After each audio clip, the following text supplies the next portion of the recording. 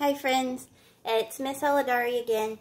So we had just finished doing our um, egg carton crate um, counting by tens activity with beads.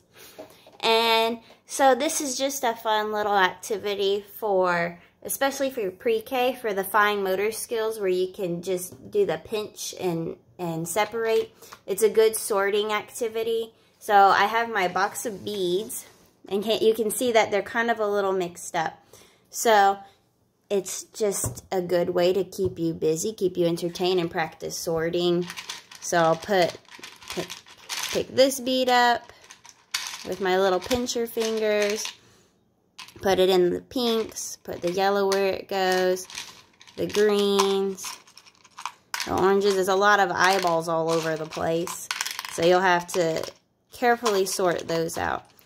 But it's a good uh, fine motor skill activity to get those little pinchers ready. And the importance of fine motor skills is when you're writing or when you're cutting, then it helps you hold on to those papers and hold on to that pencil. And so fine motor skills helps you work those important muscles in your hands. So your child is ready to write or their, um, their muscles are used to being pinched like that in order to write.